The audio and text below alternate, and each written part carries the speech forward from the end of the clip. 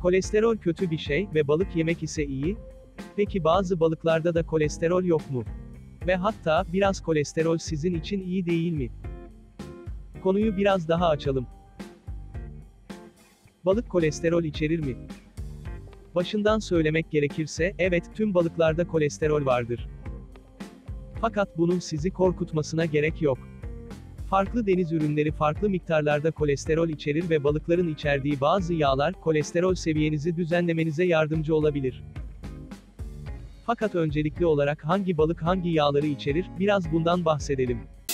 Denizden Babam Çıksa.com'daki yeni yazılara ve su ürünleri sektörünü yakından ilgilendiren içeriklere düzenli olarak ulaşmak için bizi Twitter'da takip edin.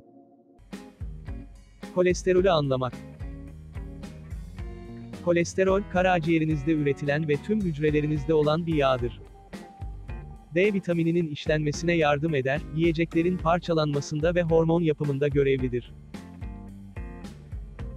İki temel kolesterol vardır. İlki, LDL olarak da kısaltılabilecek olan düşük yoğunluklu lipoprotein, diğeri ise HDL olarak kısaltılan yüksek yoğunluklu lipoproteindir. LDL seviyenizin yükselmesini istemezsiniz çünkü kan damarlarınızda birikir ve kan akışını engeller. Bu engelleme kalple ilgili hastalıklar yaşamanıza neden olabilir. HDL seviyesindeki yükseklik ise iyidir ki, HDL, kan damarlarınızdaki LDL'nin atılmasına yardımcı olur. Ulusal Sağlık Enstitüsü, ideal kolesterol seviyeleriyle ilgili şu bilgileri veriyor.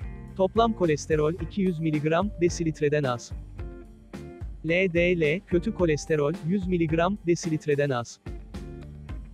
HDL, iyi kolesterol, 60 mg desilitreden fazla. Yiyecekler ve kolesterol seviyeleri. Yediğiniz her yiyecek, yaptığınız egzersizler, genetiğiniz ve hatta kilonuz kolesterolünüzü etkiler.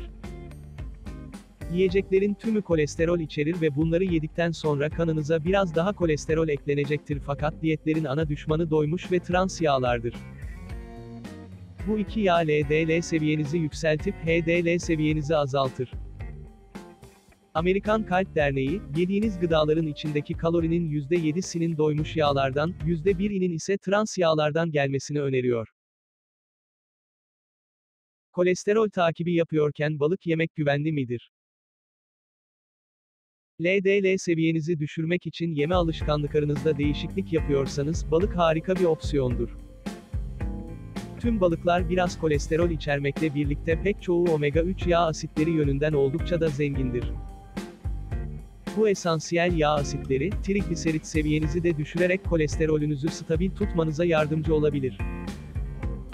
Vücudunuz omega-3 yağ asitlerini üretemez ve bu esansiyel yağ asitlerini dışarıdan almak zorundasınız. Omega-3 vücut ve beyin için çok önemlidir ve ruh halinizde ağrılarınızı etkiler. Somon, alabalık ve ton balığı omega-3 yağ asitleri yönünden oldukça zengin ve yaygın olarak bulunabilen deniz ürünleri arasındadır.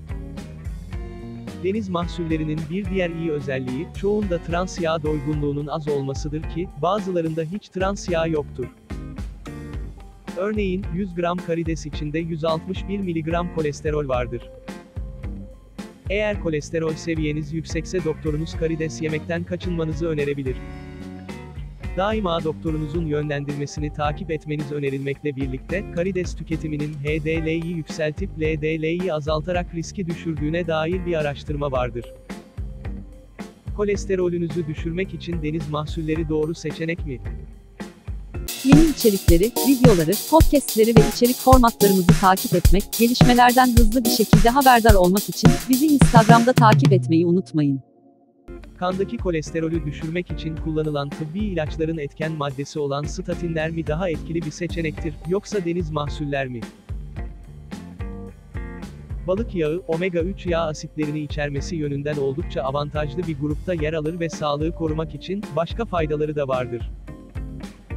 Bunlar, iltihapları azaltma, tansiyonu düzenleme, kemikleri güçlendirme ve cilt sağlığını iyileştirme olarak sıralanabilir. Statinler basitçe, vücuttaki kolesterol üretimini durdurur. Aynı zamanda kan damarlarındaki plakların uzaklaştırılmasını da sağlar. Uzmanlar, balık yağı ve statinler için neler söylüyor?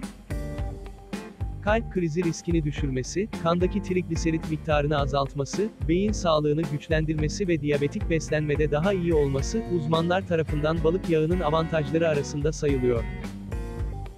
FDA'ya göre ise statinler, kalp sağlığını korumak için iyi işlev görüyor fakat dikkatle alınmaları gerekiyor.